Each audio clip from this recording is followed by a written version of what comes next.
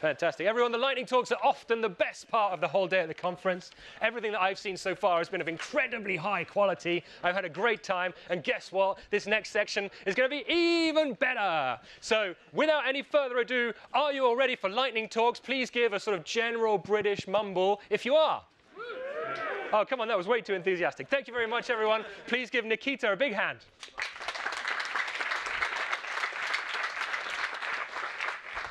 Hello, everyone, I'm very excited to present to you today.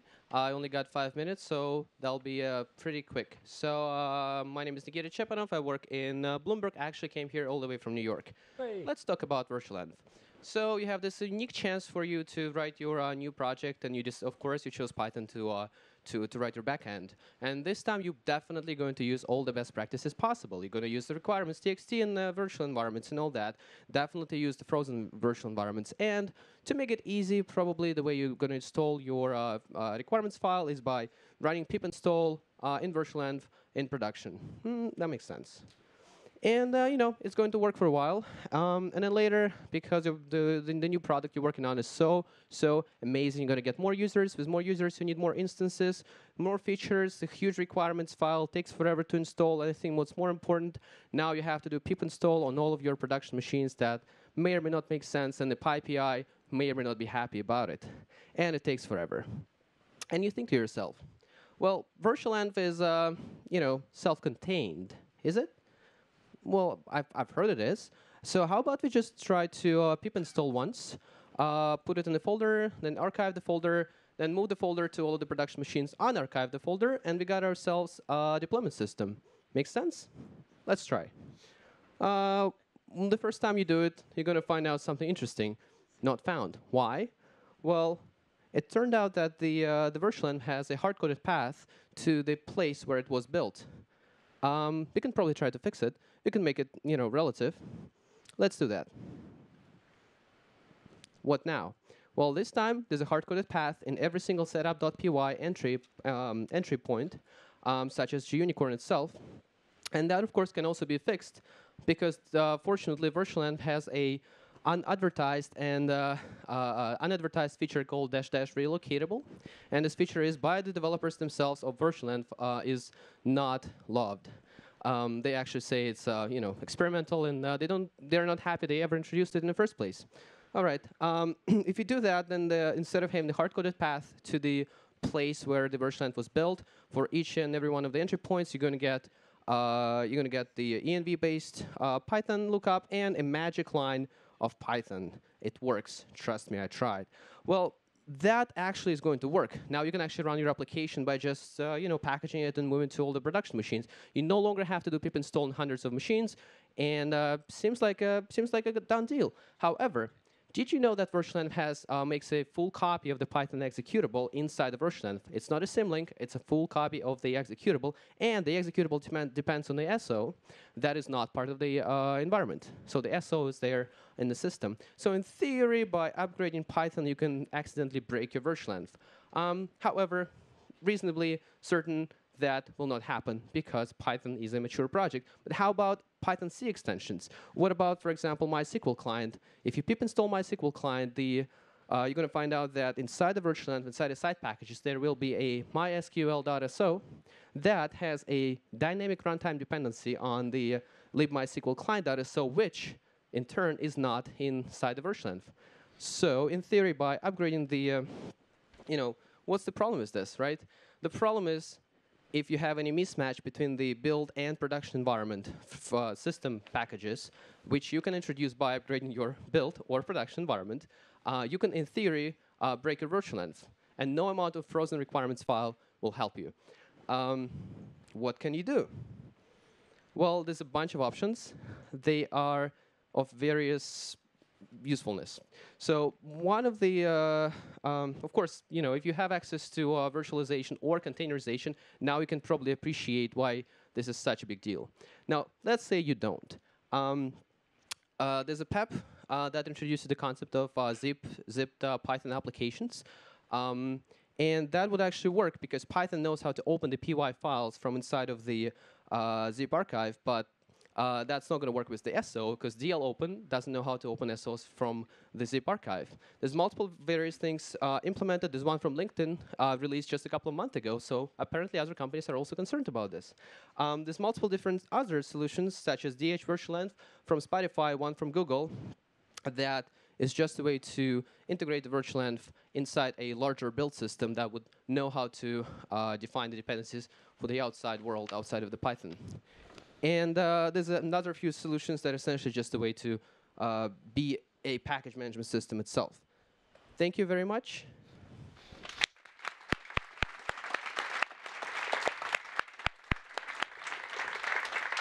Thank you, Nikita. Alex is up next.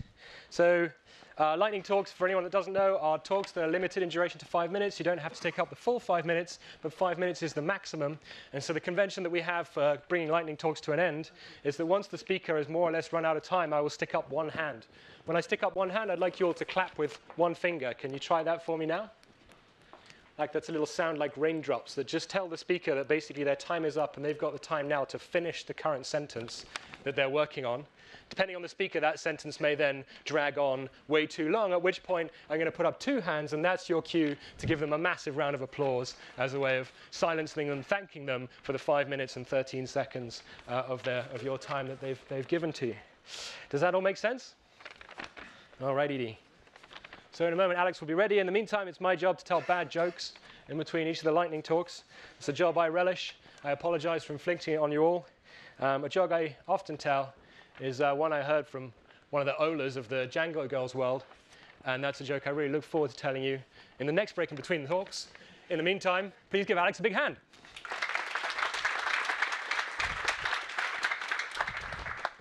Good evening, everyone. My name's Alex Willmer, and I would like to convince you that the library known as Pickle can be rehabilitated. For those who don't know already, Pickle is a module in the Python standard library. It is extremely convenient because with one function call, you can serialize almost arbitrary Python uh, objects, including custom classes, send them over the wire, save them to disk, put them in a cache, um, send them via carrier pigeon, and what comes out the other side um, will deserialize almost exactly to the objects that you put into it. Um, it is very, very tempting.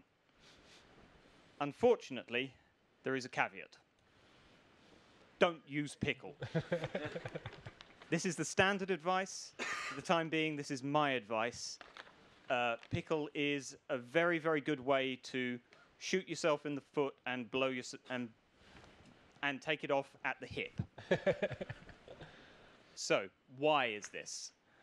Well, the standard counterexample is that if you don't take very particular measures, then somebody sending you a malicious pickle payload can cause arbitrary code execution. This is a fairly benign example. It's the standard example. Um, in this case, unpickling something has resulted in running a command called echo. That command could equally and just as easily have been rm-rf. If your process is running as root and you do this, you will not be having a good day. So, there is a standard mitigation for this particular attack, and that is to overload a method of the unpickler class called find class. It has a slightly different name in Python 2, but it is a very similar technique. The trouble with this mitigation is that it's opt-in. So unless you take these very particular measures, you will shoot yourself in the foot and take it off at the hip.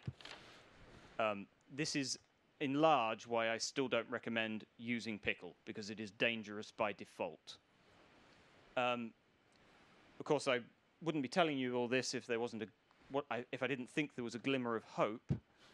And uh, this is what I'm trying to uh, do.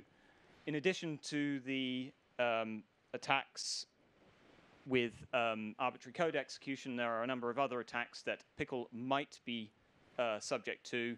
We don't know them all.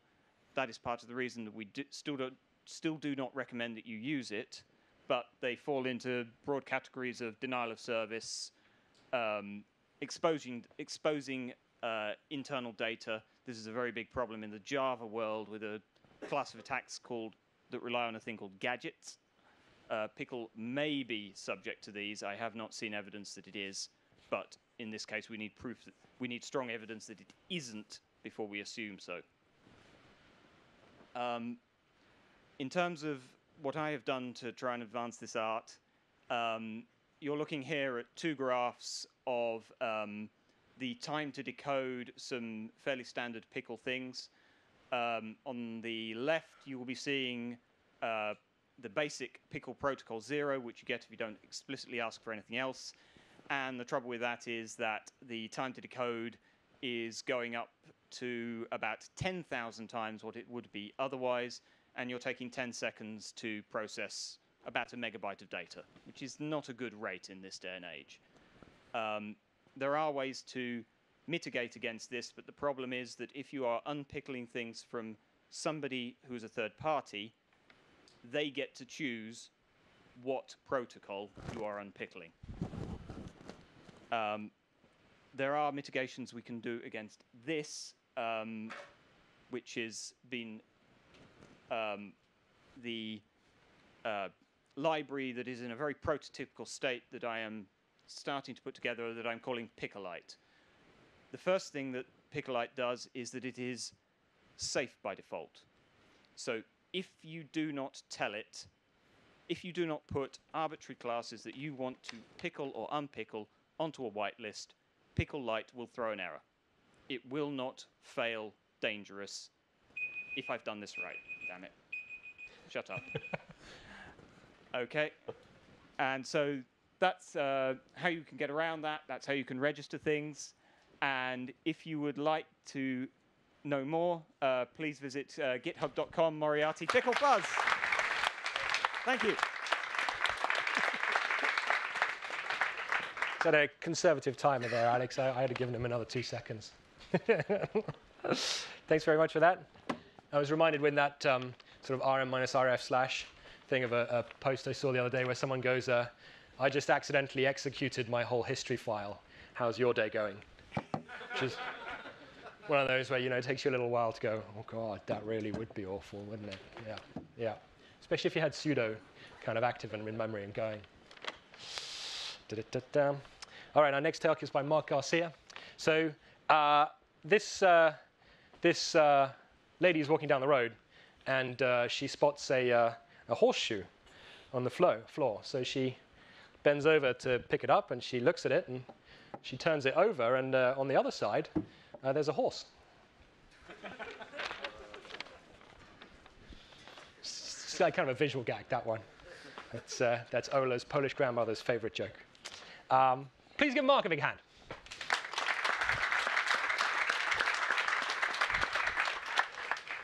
Can you hear me with this mic? Like the. Yeah. It okay? Okay.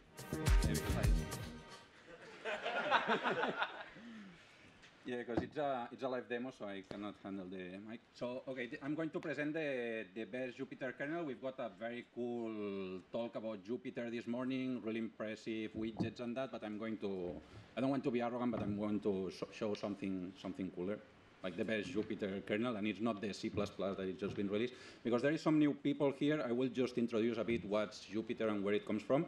So we all know Python, at least what it is. We've got a Python terminal where we can just run interactive code. This wasn't enough powerful at some point, so what we managed to have, Fernando Perez wrote this, IPython, that it's a bit better. It's still in the terminal, but it has some features, some magic, and, and it's a bit better to, to work with when you have like multi-line and, and things like that. And colors. Oh, and colors. so then uh, at some point what what we've got is that this moved to the to the web, so the same exact concept, a Python terminal, but into the web. So we can execute any Python code in here. At some point, this was too cool, so the Jupyter, the application and the programming language get decoupled, so we could install different languages. So the interface is exactly the same, but the, the language can, can be different. So here, for example, you can see that this is our code. And if you are not familiar with R, you don't come from the data science world and that, the most relevant part of this that my variable, variable is not an attribute of my, is actually the name of the variable is my.variable, something R people like. At some point, this was too cool, so what we've got is that we started to have markdowns, links, images, and lots of stuff. So if you know about the three body problem, basically talk to me because I just downloaded this randomly from the internet to show you.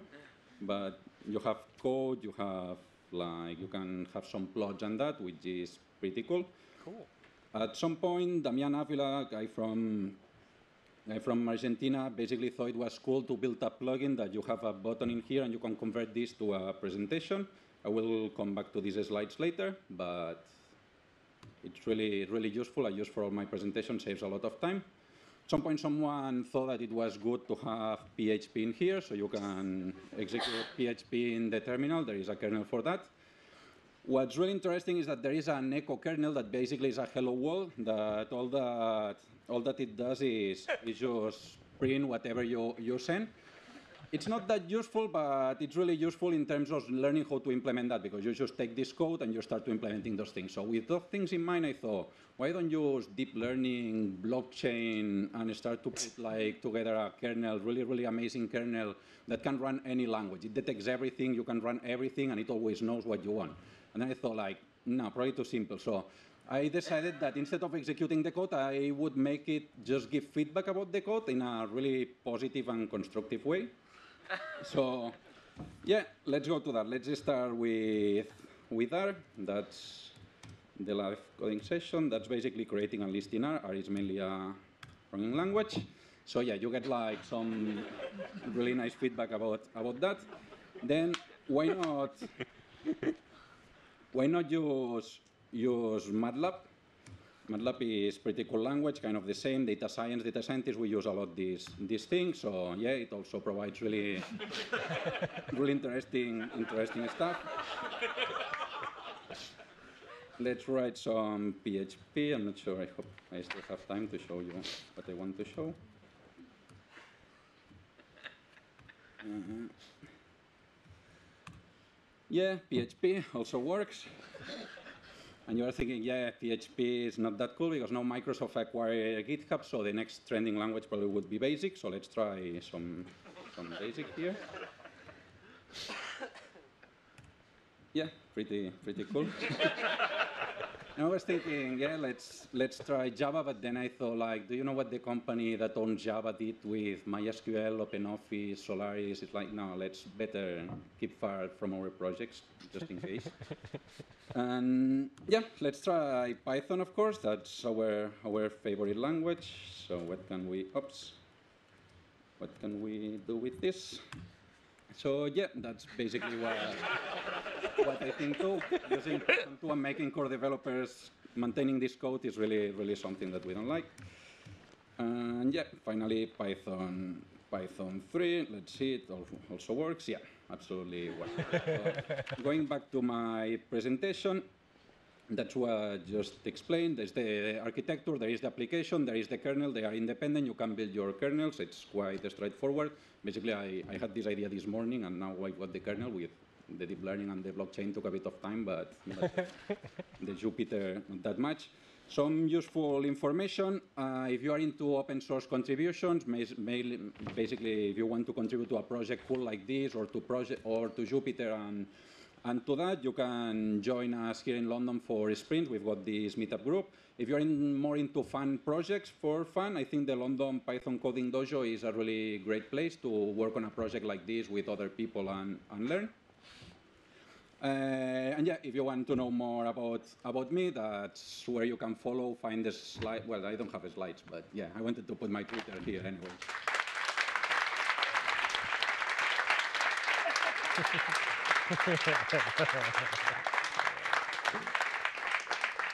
Thanks very much, Marc. Up next is Dan Palmer. Oh, right. The name of the kernel is Grumpy. Should have said that earlier. nope, you're off. You're off. oh, I just got that though. Yeah, Grumpy. Yeah, yeah. That's good though. All right, you can have that. Uh, fine. So the pirate programmer walks into a bar and uh, she's got a parrot on her shoulder, and the parrot is going pieces of seven, pieces of seven, pieces of seven. The barman goes, "Oh, I think there's something wrong with your parrot, mate." And she goes, "Yeah, it's got a parity error." And the barman goes, "Yeah, I thought it was a bit off." Thank you. I'm here all week, uh, um, but more importantly, so is Dan. Please give him a big hand.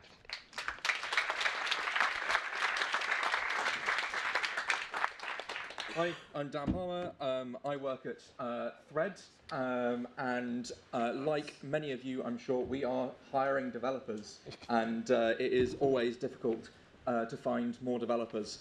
Um, so I want to talk to you about this one weird trick to double the size of your developer team overnight. So this is uh, a, a picture of everyone who has contributed to Thread's main code base.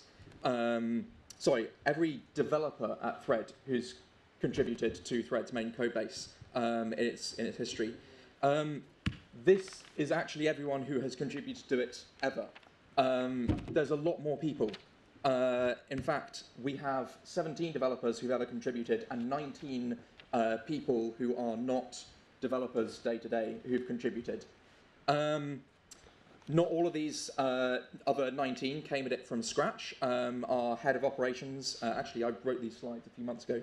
He's uh, um, been promoted since, but um, yeah, our head of operations, that's warehouse operations, not servers for us, um, used to compete in machine learning competitions when he was at university. Um, one of our marketers uses a lot of scripts to like automate Facebook ads and things like that. And our, one of our PMs has a maths degree where he did a bit of coding. So um, they're not all coming at it from scratch, but um, seven of those at my last count had no previous programming experience at all before uh, contributing to our main code base uh, at Thread. And this is a, a large code base with 85,000 commits, a couple of hundred thousand lines of code. Um, so um, not trivial to get started uh, in. Um, what are they doing? Um, they're not developing new features mostly. Um, a lot of what they're doing is develop uh, is editing configuration that's in code. Um, they are editing copy, uh, job pages, those sorts of things. Um, particularly our like our help pages for customers. Our support team can edit that. Um, they're creating reports. We've got um, a, a, sort of stack of Python classes that let you kind of compose reports together um, quite easily without understanding too much about what's actually going on. So they're creating reports. Um, and a couple of them have developed medium-sized features, you know, a couple of hundred lines of code, um, maybe some dashboards, uh, changes to our warehouse tooling, uh, marketing tooling, things like that. Um, and I think this is uh, really great. Um, it means that as a developer, uh, I can focus on bigger tasks. I can focus on things that aren't just um, minor bits of maintenance around the code base or changing settings for people. Um, it also means that uh, we can focus on harder tasks. We're doing uh, a lot less um, sort of chopping and changing between different things. Context switching is expensive. It takes um, overhead. Even if something might take two minutes to change, you've got to stash all your code, uh, check out a different branch, uh, make the change, put it up for code review, all those sorts of things. It's, it's all sort of mental overhead. Um, it, it also means we can actually build fewer internal management tools. Um, we need to put fewer things in the database. If they're just settings in code somewhere, um, we don't need to have a CMS for our help page. We can just have an HTML file um, because uh, the, uh, the, the, team who need to edit it are able to go and edit it um, straight in the code uh, which means less code overall, simpler stuff. Um, it's also empowering for them. Uh, they're in more control over their areas of responsibility. They can own that process. Um, so how do we do this? Uh, we ran an internal SQL course. Um, I think about 10 people uh, in a company of like 55-ish, uh, probably about 40 at the time that we ran the course actually. About 10 people took this. Uh, we now have fashion stylists building dashboards to monitor um, the stuff that they're working on. Um, we've uh, helped people through the Python Coursera course. We do pairing even with non-developers, particularly around code review. Um, we do hack days internally. We have tutorials on how to use GitHub, uh, and uh, we're just generally being encouraging and helpful. Um, oh, yeah, but I don't want to. I want to let don't want to let non-developers near my code base. You might say. Uh, well, uh, most editing is done through the GitHub web, web, interface, so there's very little um, uh, required from developers to um, uh, sort of support. Um, uh, no getting sort of Git and dependencies set up. All code is still reviewed by an engineer. Um, continuous deployment allows um, other people to make um, quick changes, um, uh, high priority changes quickly. Continuous integration and linting helps protect us a lot. Uh, we have had uh, some minor issues. Nothing major has gone uh, gone wrong so far, and we do five whys when things happen. So we find the root cause uh, and solve those problems. Uh, we don't blame people for getting things wrong. Um, so yeah, that's it. Um, these are all our contributors who uh, have uh, have um, yeah helped us move our code base forward uh, without any sort of formal training. Um, yeah, thank you. Thanks very much, Dan. Next is Amu Kumar. Yep, Anil. Anil, sorry. Yeah, you're up. Um, so I've been working on this. Uh, it's a. Are you lacking a laptop, mate? Okay. My, my name is not there, so uh, I did not ask for laptop. I need a laptop. Does it Yeah, say that's Anil Kumar? Yeah, that's me. Okay. I have a laptop. Yeah, All right, we'll give you a minute or two. So I've been working on a, a new joke, and i if it works, it should be a double. And, um, and it's about a, a person who's a, a joke enthusiast like myself. And um, there's a, uh, like a wordplay competition in the newspaper, and they enter it. They're just about to go on holiday. Uh, and they enter this uh, competition, they send in 10 different entries. Um, but as well as being a, jo- a, joke enthusiast, they're all also a kind of uh, enthusiastic gardener. And they've been growing their own fruit and vegetables. And they've got uh, a bunch of strawberries that are just about ready. Um, and they've already sort of harvested them and put them in those little boxes, you know, that you get at the, the strawberry shop. But um, they're not quite ripe yet. And so while they're on holiday, they've asked their cleaning ladies to just come in every couple of days and just make sure that they're clean and they're not being eaten by any slugs and that they're just a light sprinkling of water and that they're just generally sort of tended to. Um, but uh, he knows his cleaning lady is a bit unreliable, and so when he's coming back from holiday, he's going. He's really hoping that one of the ten jokes is going to win the competition, and he's really hoping that he's going to have like a little tray of strawberries that's been well uh, taken care of. But unfortunately, when he gets home, he looks into it, and no pun intended. No, no pun intended. No pun intended. Win the competition. No punnet of strawberries. Ten. Okay. Yeah. it's a difficult one. Yeah, yeah. Let's let somebody else talk. Hi everyone, this is. Uh, hello. Uh, hi everyone, this is Amit, and uh, I'm uh, talking about NumFocus. If you've been to PyData London, then you might have seen this presentation. So uh, this is the mission of Num. How many of you have, have heard of uh, NumFocus? Uh, pretty much not everyone. Okay. Okay, this is the uh, uh, motto of mission of NumFocus to promote high-level programming languages like uh, Python and Julia, open code development, and make projects sustainable. Sustainable. Better tools for the better world. So the projects sponsored by NumFocus are used by uh, everyone, uh, pretty much everyone. For example, from Netflix to NASA. So uh, NumFocus has a fiscal sponsorship uh, program which uh, does these things for the projects. So open source projects are always lacking of resources, and they don't want to do all these things uh, by themselves, and because and these things are tricky bits. So these are some of the programs which are uh, which NumFocus is a part of. For example, uh, Google Summer of Code, DISC, and uh, these things. Have you heard of Google Summer of Code? How many of you have heard, heard of it? Any students in the room? So Google Summer of Code is a program by Google which sponsors students writing code for open source projects, and uh, NumFocus is an organization in that. So basically, you can work your uh, uh, work in the summer for open source projects and uh, get some good cash. So PyData, PyData is one of the big initiatives of uh, NumFocus. Uh, I think now you can see it has got like 101 groups right now. So uh, if you want to start new one, just come and talk to me. So raise your hand if you have use, uh, if you have uh, used one of these projects. Keep it up if you have contributed to any of them. How many of you have committed at least one uh, patch to it, or maybe contribute anyway, money, time, anything? A big round of applause for these guys, please.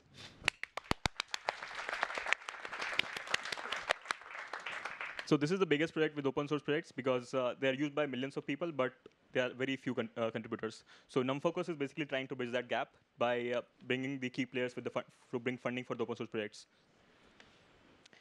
So if you use these projects at work every day, then uh, you would like to be or commit to be here. So, and you can contribute in all these three ways. It's not just code. You can also contribute your time. You can contribute uh, money by membership. And anyway, you are helping NumFocus by any, any, any of the th th three means. Thank you.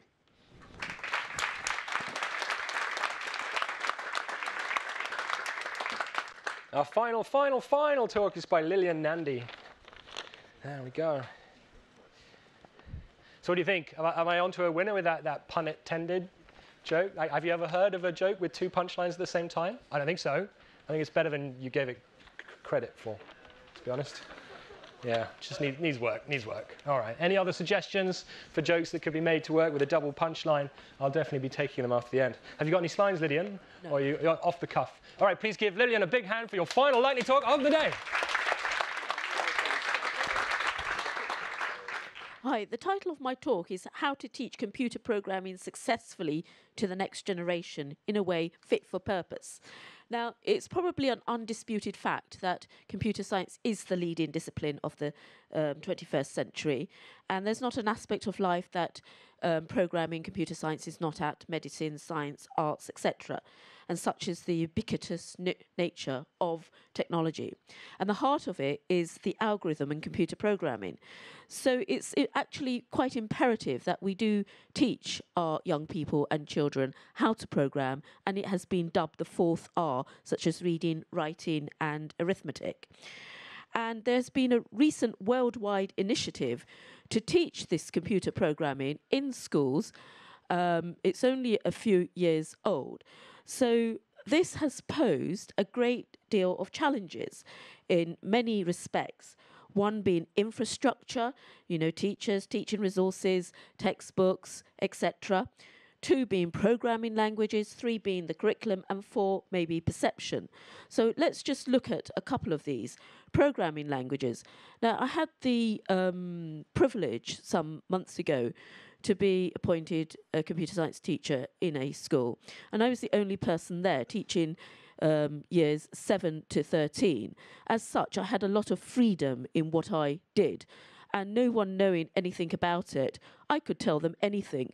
I could make them play robots and say, This is computational thinking, and they wouldn't know the difference. And I think they were doing that before. So, you know, conventional wisdom, or there is a that they should learn Scratch before they learn a textual language. But I do question this, and I do have some reservations about it. Why should they have do drag and drop languages? Um, you know, after all, they can write essays, they can solve simultaneous equations at the age of 11, they can do many things. They have textbooks, they have um, exercise books to write in. So why should it be taught drag and drop? So I introduced this um, Python programming languages right across the board because, you know, previously they hadn't been doing anything really. And I thought, okay, programming language, it's like English. And, uh, you know, they treat it like an essay. It has grammar, it has structure, it has repetition, etc. So that's the way um, I approached it. And they were taught from the ground upwards, a bottom up approach rather than a top down approach. They had no projects to do. They were mastering the input statement, the output statement, the for loop, the while loop in very small programs. Now, it was very boring. It was copying and it was very repetitive. But I think it was quite important that they had to master their basics. And about after eight weeks or so, they had actually mastered these basics and they were able to write programs of some note after that um, point. And it also became their favorite subject as, as well. The other point is one of curriculum here. Um, governments worldwide, they have curriculums, they put some words on a piece of paper, and um, the educational establishments tend to follow these curriculums. Now, I dispute this, I have some reservation with this as well. I don't think it should be actually government led per se. It should actually be led by experts or teachers who actually know the subjects rather than a bunch of civil service who have servants that have wrote, written some words on a piece of paper. Um, I remember at school when we studied English, grammar was taken out of the curriculum, and our teacher said to us, It's very important, so I will teach you. And our maths and our English teachers had the cour- courage of their convictions to teach us things which were not in the curriculum. So, really, I think computer science people should have the courage of their convictions to teach things which are important and insist and not in the curriculum per se. It's a guide and it's an important guide, but it's not the be end and end all. And perception. The students have to realize it's something quite desirable. Now, luckily, I was, I say luckily, I was in a boys' school, and they did perceive it as something desirable. And we made it even more desirable by showing computer applications of computers generating um, classical music, making, generating Rembrandts, um, doing robotic surgery. And I showed these videos from age 11, 12, 13, 14, 15. Now, guess who was most enthralled by it? It was the 11 year olds, which loved the painting of the Rembrandt. Um, we don't have to show, show them things that they already know uh, as such. We can bring their level up if we want to do so. And that's what education is about, is to bring people's level up. And um, really, I think that computer science should be commercially led and be fit for purpose, and we should we shouldn't dumb down. We shouldn't make it simple. We should make it harder and fit for purpose. Thank you.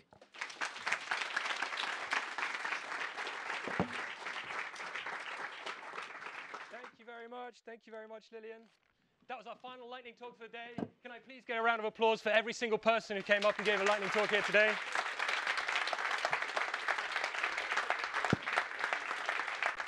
I'm handing over now to your conference chair. Please give him a big hand for all the work that the organizers have done for our wonderful day. A big round of applause for Mario. Without this person, there would be no conference. Okay, so I hope everyone had a good time, and we are just gonna close the day with some final remarks. So first of all, uh, please remember to leave the lanyards uh, at the exit. You will be able to collect them tomorrow and go through the registration again. I'm sorry about that, but it's a security procedure. Next, I forgot this morning, but I have it here. So that's the link if you want to get into the uh, Slack workspace. You also have it in the email that uh, we send to all the attendees. But in case you didn't receive the email, it went to the spam, you can just join the Slack via this invitation email. Next, we have uh, we have a social event now happening really across the corner. Uh, the place is called the Sugar Loaf. We invite you all to come. Um, beers are on you, of course. Sorry about that. And all the money just goes to the PSF, which is probably a better use than just paying some beers. And uh, I, we we invite you to come, uh, have some time sharing together, and continue the working, which I think is one of the key things of these events we were asked for how can we can you deliver feedback to the organization? So we are going to send an email after the after the event where if you have any suggestions for next year or anything you want to share with us we'll, pro- we'll provide some links and some some way to provide the structured feedback for. And last thing many people have asked and uh, i know this is like probably the most codicious item of the whole conference. If you want an amazing first t-shirt okay? You have mai here in the front which is not only an amazing developer but she also does an in, in impressive work on design that is gonna prepare a way for you to be able to get a t-shirt. So well first of all can i have please a round of applause for may for this amazing logo and all the design for the conference so with that i hope to see you in sugarloaf and uh, to see you tomorrow as well. Thank you very much. And that's the video we missed this morning. Hooray!